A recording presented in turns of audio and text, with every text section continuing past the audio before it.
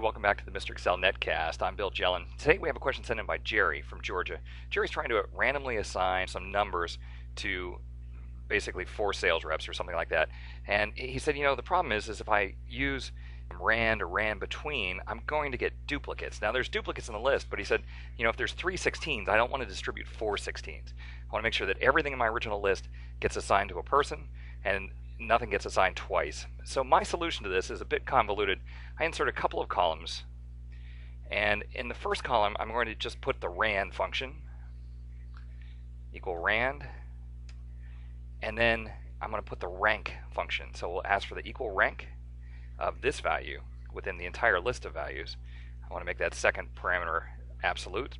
So put the dollar signs in, copy that down to all of our cells. Now what's interesting here is I've now assigned a random number from 1 through 16 in column A. So we'll come over here where we're going to assign our values and we're going to use equal VLOOKUP. Um, what do I want to look up? I want to look up the number 1, but I'm not going to put the number 1 here. I'm going to put row of A1 and use this table over here, basically from A to C, ask for the third value. Now when I copy this down, what's going to happen is the A row of A1 is going to change to row of A2, A3, A4, and so on.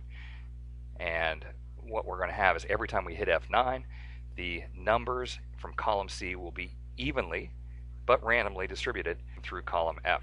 So it's a little bit tougher. You can't just use rand or rand between. You actually have to set up some random numbers and then rank them.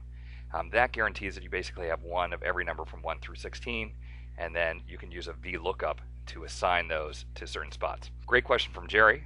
Bit convoluted answer, but it should do the trick. Thanks for stopping by. We'll see you next time for another netcast from Mr. Excel.